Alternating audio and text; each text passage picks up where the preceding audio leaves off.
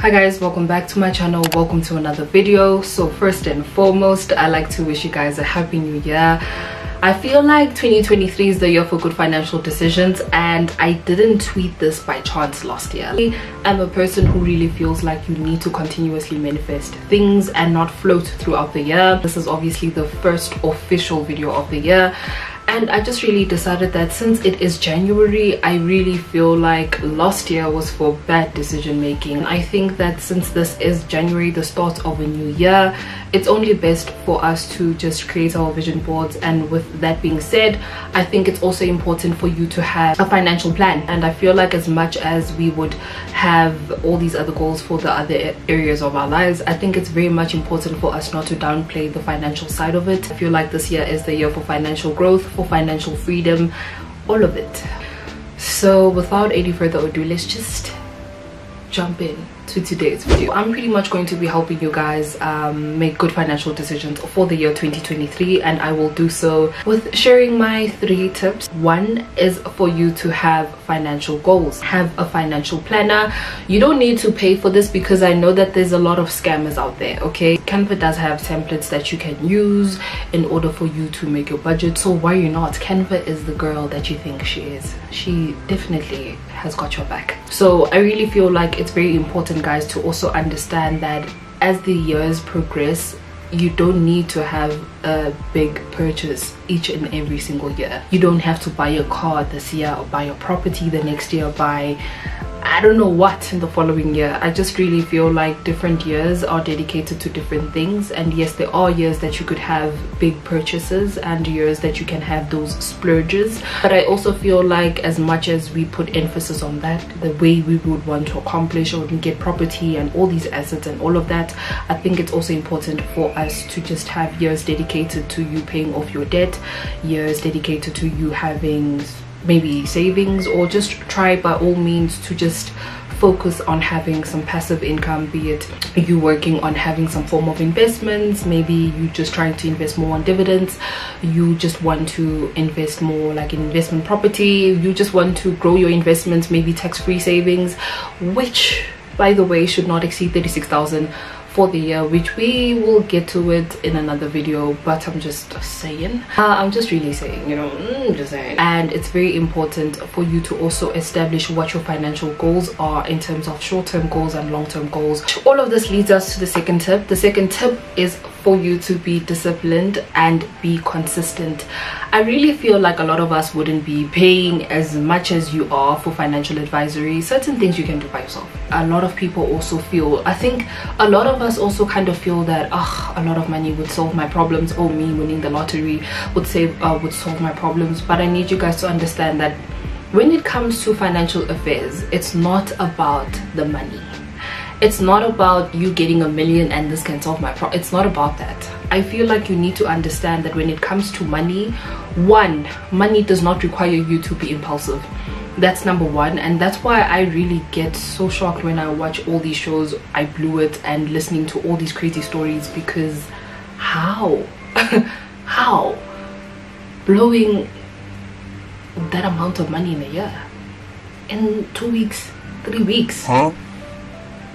Scary. I don't want to lie it's very scary. I need you guys to understand that money doesn't require you to be impulsive. Like money requires you to be very logical and very objective. Like you just really need to make your decisions prior and for you to be consistent with them is that it's really not about the amount that you earn it's more about the mindset. That is why i started this video with saying that you need to have financial goals for this year because i think it's always important for you to have something to remember or have something that you're working towards and see it. You need to be very realistic with the goals that you are setting. Do not be setting goals that are insanely above your salary or the amount that you earn because I know that some people could be getting a salary and still be getting passive income that you should not be a person to make um what's the word? To make plans on an amount that you have not received yet. And i feel like that's the biggest mistake that people make. I think as a person you need to understand that this is how much i have and you need to work around what you currently have. Do not make plans on amounts that you have not received yet because if you do not receive it what then? I'm just asking. So let's get to the final tip. So i feel like the final tip is obviously going to be the longest one but like i said it's probably i mean you've guessed it. I feel like a financial decisions video or how to make good financial decisions video or a financial video can never be a financial video without me mentioning this or without anyone actually touching on this topic. The last tip that i pretty much have is for you to have a very comprehensive budget. I feel like this is the most important thing each and every single month. Uh, maybe you could even do it weekly. I don't know whichever works for you you can do it monthly you can do it weekly but you just need to have a very comprehensive budget in order for you to be able to accomplish these big goals because i'm a firm believer that you need to take baby steps in order for you to accomplish this big picture that you have in mind.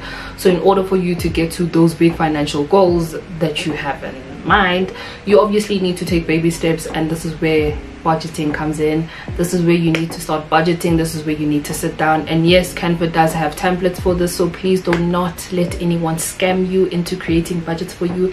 And like i said a lot of things that you guys pay for you can honestly do for yourself. Like you would be saving so much if you could literally just stop being lazy and start doing things yourself. I think it's pretty much important for us as people to see where exactly our money is going. And like I said, working with money guys. When you when when you see this thing the thing is with the numbers game nah, money does not require you to be impulsive and i'm saying this again because i i feel like as people we just tend to have a surplus which isn't a surplus but to you it seems like okay i have a lot of money somehow.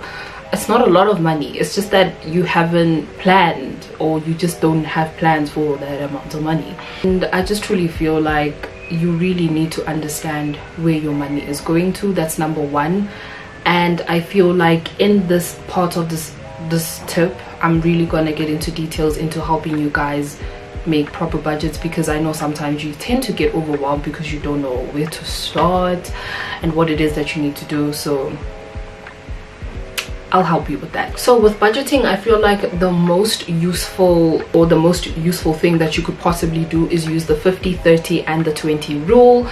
So I'll explain all of that in details, right? So the 50%, so basically this is me saying 50% of your income and I'm speaking about your net. So by net, I mean after tax. So I'm speaking about 50% of your income after tax, saying your joint income after tax, however way you get it yes so 50% of that amount is going to cater for your needs. I know that we're taking this back to EMS days because you never thought you would need Maslow's hierarchy of needs ever in your life. I'm here to shock you. So 50% uh, of your salary needs to cater for your needs and by needs I mean shelter if you are a person who's obviously paying for your rent yeah probably if maybe you're a person who's paying for rent or maybe you're paying for some form of installment towards your bond in the house that you live in or whatever that's basically gonna cater for that. So 50 percent of that caters caters for your shelter it caters for your utilities transportation and food of course groceries if you are living alone and maybe if you're living with your family. I know that maybe black tax can come in here because technically you're and I mean it in a sense that if you are playing, paying black tax at home to just help out with like groceries and stuff like that then I feel like that could also form part of this 50% because um, what could we say? So pretty much clothing. But I also feel like clothing is really not much of a necessity. But I mean, it is a need, but I really feel like there's people who just don't have that self-control. They just splurge on clothing unnecessarily. So if you fall under that category, I'm not talking about you. I'm really speaking about when you genuinely need clothes. Like these are the clothes that you need. And yeah, so so basically 50% basically caters for your needs. The things that you know you cannot live without. Like you need to pay for that thing maybe even paying for your car installments whatever it is like insurance your health basically just paying for like insurance health and all sorts of things. Whatever it is that you consider as a need in your life and this is just me saying be honest with yourself. Don't say that you need it knowing very well that it's the want i don't want to take this back to grade 8 EMS okay? I, I don't i don't. Go on to the 30 percent. 30 percent caters for your wants right? So this could be you going out you traveling which i do feel that if you are a person who is saving towards traveling and you just don't know where to go. You want to go to thailand at some point in time. You want to go to bali. You want to go to all these places. This 30 percent of your salary needs to cater for your savings towards traveling. So if you're a person who also likes grooving and all of that 30 percent of your salary needs to cater for that. And yes if you're a person who also likes clothing 30 percent of your salary needs to cater for that. So if you're a person who really likes splurging you like fragrances you like all sorts of things that's where the 30% goes to. So basically the 30% caters for your wants like whatever it is that you feel like. I'm a person who really loves going to restaurants but i've honestly decided that i'm just going to tone down on that because i just feel like i've been splurging unnecessarily. And there's food at home. You know when our parents used to say there's food at home? They weren't joking bro. Like there's food at home. I feel like now i'm just at a point in my life that if i am going to go out i'd rather go out and just have an experience like maybe something that i haven't done before like maybe just use that amount of money that i would have spent at a restaurant for like activities or something. Because i just feel like i'm just at that age now where i just want to explore and experience. So i think it's better that your money goes there rather than just something that wouldn't matter. So basically 30% of your salary caters for your wants whatever it is that you deem as want maybe going out takeaways um what else? Takeaways traveling like i said maybe you want to go on a staycation or vacation you're trying to save for that. That's where this these all these wants come from in this 30 percent of your salary right or your income. Let's just say your net income which leaves us with the remaining 20 percent this remaining 20% is for you to spend it on your savings and for you to pay off debt. And like i said guys that certain years are for you to have a focal point at something.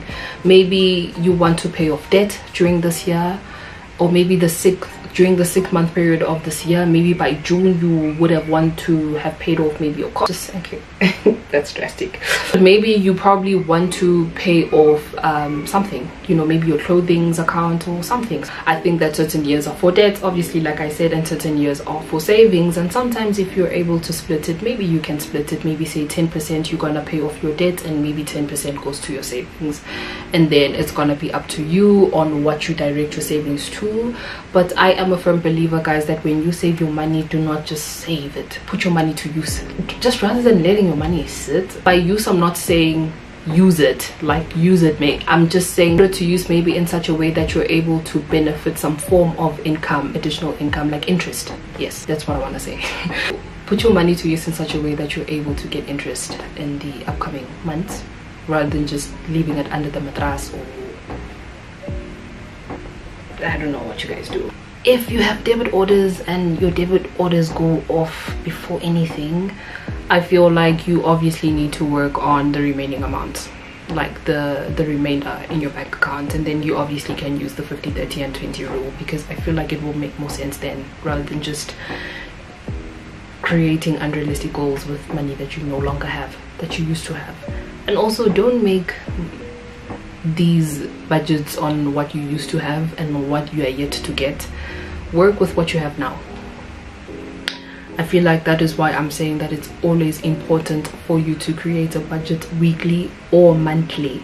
So beginning of each month i think it's very important for you to just create that budget so that you know exactly where your money is going to guys. Because you will if you do not do this i promise you you will feel like you have a lot of money and you are going to splurge it on things that don't matter. I promise you. And also another thing that i can say guys is avoid these last minute plans. Please like avoid these last minute plans when your friend is hitting you up at 8 and says yo let's hit the club just say no. Especially when you know that you didn't budget for that or you did not cater for that. Just refuse. You're not gonna die. I promise you you're not. Like you're not gonna die. When you have fomo the fomo's gonna come it's gonna end and that's all it ever is. And i just truly feel like whenever you want to go out and whenever you want to have some time for yourself and dedicate some time to your social life see exactly where your money is going. And obviously like i said 30 percent of your salary will cater for that and something else. That 30 percent is not only to fund your group life like it's not. It's not be a person to give in to spending those little amounts because I know that 10 rand for example might seem quite small to you because it's just like it's just 10 rand. Now imagine if you actually took that 10 rand and spent it on betting how much would you have right now if you think about all that amount of money that you spent on betting for the past two years? A lot right? A lot I feel like also do not give in because an amount is too small for you that you think it does not have an impact because it's always these small amounts or these small decisions that actually have the greatest impact. Because when you calculate the accumulative figure of that amount you'll actually see how much that is and you will be surprised. I mean think about saving 10 rands maybe each day because you think it's too small. How much would you have at the end of the year if you actually did the savings challenge that people do on TikTok where you just put the money in the box and you wrap it up and at the end of the year how much do you think you're gonna have also i really want you guys to know that there is a lot of scammers out there so please do not fall for this thing of a person saying hey invest in 3k or this forex thing or whatever it is where people say invest in 3k and it will be 15k in three months time. It's a lie. Be firm guys and be in control of your finances. There's a lot of videos that you can actually watch on youtube. And also with that being said i know that i said that i don't i don't really like this whole concept of just saving money i believe that money should be put to use and maybe you could generate interest for the amount of time that you do not need it. I feel like you also need to do um, thorough research and where you invest your money because the last thing that you want is be is for you to be putting your money in these fly-by-night institutions or institutions that are not that don't have the necessary credentials. I think it's very important that you do thorough research before you put your money into something. The last thing that i want to say guys i literally got the shock of my life when i heard someone saying that they put their emergency savings in crypto. I was shocked. Why I really don't want to lie. I feel like some decisions that people make tend to be so scary because I know that a lot of people are not well informed. But I also feel like sometimes guys take the time out because I know that these decisions could be so daunting and just making all of this. It's just tired. It's tiring. You know, I get it.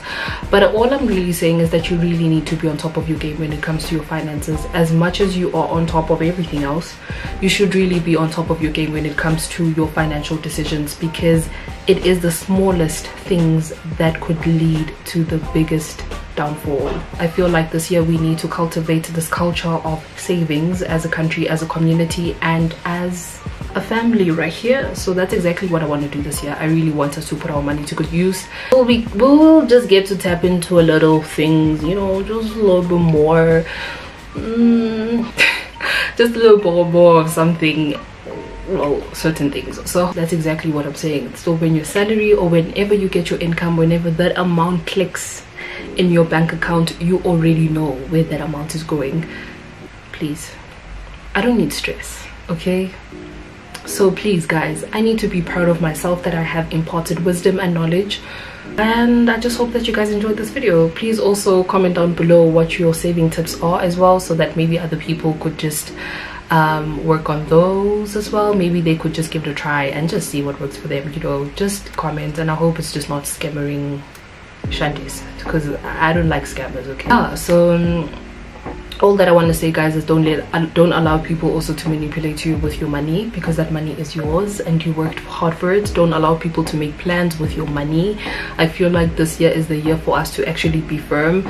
You can say no you're not gonna die. I promise you you're not gonna die. You're gonna wake wake up tomorrow feeling fresh as ever feeling rejuvenated ready to mind your business to drink your water and continue with your day as usual.